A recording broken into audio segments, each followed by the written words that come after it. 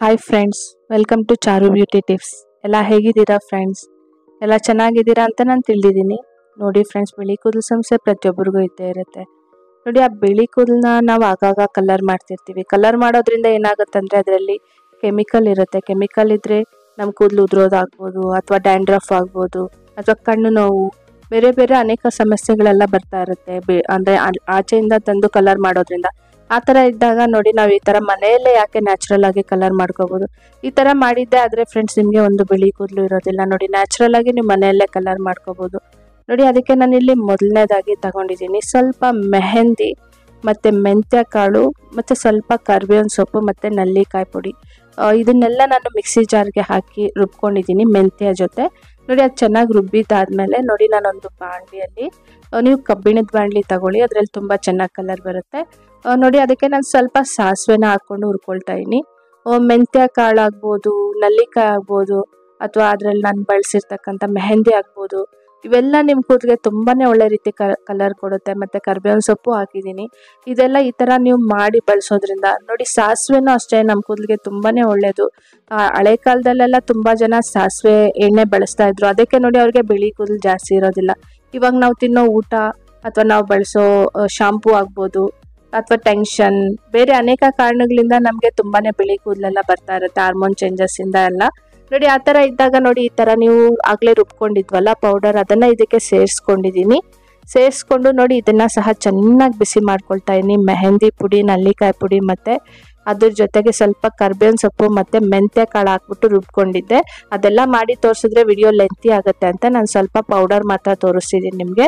ನೋಡಿ, ಅದನ್ನೆಲ್ಲ ಹಾಕ್ಬಿಟ್ಟು ಚೆನ್ನಾಗಿ ಈ ಥರ ಸೊ ಅಂದರೆ ಅದು ಕಲರ್ ಪೂರ್ತಿ ಕಲರ್ ಬ್ಲ್ಯಾಕ್ ಆಗಬೇಕು. ಅಷ್ಟಾಗೋವರೆಗೆ ಚೆನ್ನಾಗಿ ಬಿಸಿ ಮಾಡ್ಕೊಳ್ಳೋಣ ಫ್ರೆಂಡ್ಸ್ ಈ ಥರ ನೋಡಿ ನೀವು ಕಬ್ಬಿಣದ ಬಾಣಲಿಯಲ್ಲಿ ಬಿಸಿ ಮಾಡ್ಕೊಂಡ್ರೆ ಅದು ಇನ್ನೂ ಚೆನ್ನಾಗಿ ಕಲರ್ ಕೊಡುತ್ತೆ. ನೀವು ಒಂದ್ಸಲ ಟ್ರೈ ಮಾಡಿ ನೋಡಿ ನಿಮಗೆ ಗೊತ್ತಾಗುತ್ತೆ. ನೀವು ಬೇಕಾದರೆ ಇದಕ್ಕೆ ಸ್ವಲ್ಪ ಕಾಫಿ ಪೌಡರ್ ಸಹ ಹಾಕ್ಕೊಬೋದು. ಅದು ಆಪ್ಷನಲ್ ಬೇಕಾದರೆ ಹಾಕ್ಕೋಬೋದು, ಇಲ್ಲಾಂದ್ರೆ ಇಲ್ಲ. ಈ ಥರ ಮಾಡಿದ್ದೆ ಆದರೆ ಫ್ರೆಂಡ್ಸ್ ನಿಮ್ಮ ಮನೆಯಲ್ಲೇ ನ್ಯಾಚುರಲ್ ಆಗಿ ಕಲರ್ ಮಾಡ್ಕೋಬೋದು. ನಿಮ್ಮ ಕೂದಲು ತುಂಬಾ ಇನ್ನೂ ಉದ್ದ ಬೆಳೆಯುತ್ತೆ ಫ್ರೆಂಡ್ಸ್ ನೋಡಿ, ಅದು ತಣ್ಣಗಾದ್ಮೇಲೆ ಸ್ವಲ್ಪ ಹೊತ್ತು ಆದ್ಮೇಲೆ ಅದು ಚೆನ್ನಾಗಿ ತಣ್ಣಗಾಗಿರ್ಬೇಕು. ಅದಾದ್ಮೇಲೆ ಮತ್ತೆ ಇದನ್ನ ಸಾಸಿವೆ ಎಲ್ಲ ಅದ್ರ ಜೊತೆ ಇನ್ನೊಂದ್ಸಲ ಪೌಡರ್ ಮಾಡ್ಕೊಳ್ಳೋಣ. ಪೂರ್ತಿ ಪೌಡರ್ ಅಂದರೆ ಅದು ಆ ಪೌಡರ್ನ ನೀವು ಜಾಸ್ತಿ ಮಾಡಿ ಬೇಕಾದ್ರೆ ಸ್ಟೋರ್ ಮಾಡಿ ಇಟ್ಕೊಬೋದು, ಈ ಥರ ಮಾಡಿಕೊಂಡು.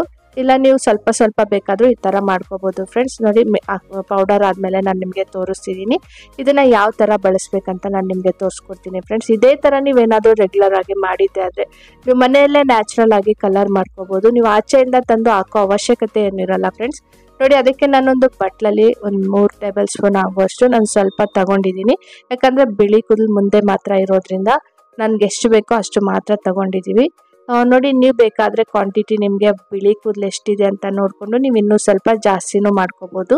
ನೋಡಿ, ಅದಕ್ಕೆ ನಾನು ಸ್ವಲ್ಪ ಸಾಸಿವೆ ಎಣ್ಣೆ ಹಾಕ್ಕೊಂಡಿದ್ದೀನಿ ಸಾಸಿವೆ ಎಣ್ಣೆ ಹಾಕಿದ್ರೆ ತುಂಬ ಒಳ್ಳೆಯದು ಅದು ತುಂಬ ಚೆನ್ನಾಗಿ ಕಲರ್ ಕೊಡುತ್ತೆ.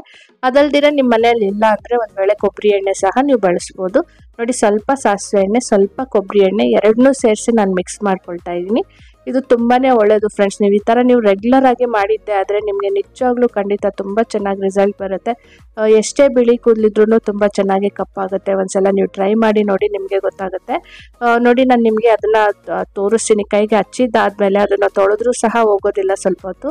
ಆ ಥರ ಇದ್ದಾಗ ನೋಡಿ ನೀವು ಈ ಥರ ಏನಾದರೂ ಮಾಡಿದ್ದೆ ಅಂದರೆ ಅದು ಕೂದಲಲ್ಲಿ ಕಪ್ಪು ಬಣ್ಣ ಹಾಗೆ ಇರುತ್ತೆ ಫ್ರೆಂಡ್ಸ್ ನೀರು ತೊಳೆದು ತೋರಿಸ್ತೀನಿ. ನಿಮಗೆ ಬೇಕಾದರೆ ನೀವೇ ರಿಸಲ್ಟ್ ನೋಡ್ಬೋದು ಯಾವ ಥರ ಅಂಟ್ಕೊಳ್ಳುತ್ತೆ ಅಂತ ಇದು. ತುಂಬ ಚೆನ್ನಾಗಿರುತ್ತೆ ಫ್ರೆಂಡ್ಸ್ ಇದೇ ಥರ ನೀವು ರೆಗ್ಯುಲರ್ ಆಗಿ ಮಾಡಿದ್ದೆ ಆದರೆ ನಿಮ್ಮ ಕೂದಲು ತುಂಬ ಚೆನ್ನಾಗಿ ಕಲರ್ ಬರುತ್ತೆ ಒಂದ್ಸಲ ಟ್ರೈ ಮಾಡಿ ನೋಡಿ. ನೋಡಿ ಫ್ರೆಂಡ್ಸ್ ಕೆಲವ್ರಿಗೆ ಬೇಗ ರಿಸಲ್ಟ್ ಬರುತ್ತೆ, ಕೆಲವ್ರಿಗೆ ಬೇಗ ಬರೋದಿಲ್ಲ. ಆ ಥರ ಇದ್ದಾಗ ಒಂದ್ಸಲ ರಿಸಲ್ಟ್ ಬಂದಿಲ್ಲ ಅಂತ ನೀವೇನು ಬೇಜಾರು ಮಾಡ್ಕೋಬಾರ್ದು. ಮತ್ತೆ ಇನ್ನೊಂದೆರಡು ಸಲ ಟ್ರೈ ಮಾಡಿ ನೋಡಿ ನಿಮಗೆ ಗೊತ್ತಾಗುತ್ತೆ. ತುಂಬ ಈ ನ್ಯಾಚುರಲ್ ಪ್ರಾಡಕ್ಟ್ ಯಾವತ್ತೇ ಆಗಲಿ ಬೇಗ ಕಲರ್ ಬರೋದಿಲ್ಲ ಕೆಲವರಿಗೆ. ಆ ಥರ ಇದ್ದಾಗ ನೀವು ರೆಗ್ಯುಲರ್ ಆಗಿ ಇದರಲ್ಲೇನು ಸೈಡ್ ಎಫೆಕ್ಟ್ ಏನು ಆಗೋದಿಲ್ಲ. ಬಳಸಿರೋ ಪ್ರಾಡಕ್ಟ್ ಎಲ್ಲ ನ್ಯಾಚುರಲ್ ನೀವೇ ನೋಡಿದ್ರಲ್ಲ, ನಾನು ವಾಶ್ ಮಾಡಿ ತೋರಿಸ್ತಿದ್ದೀನಿ ಯಾವ ಥರ ಕೈ ಗಂಟಿದೆ ಅಂತ ನೀವೇ ನೋಡ್ಬೋದು.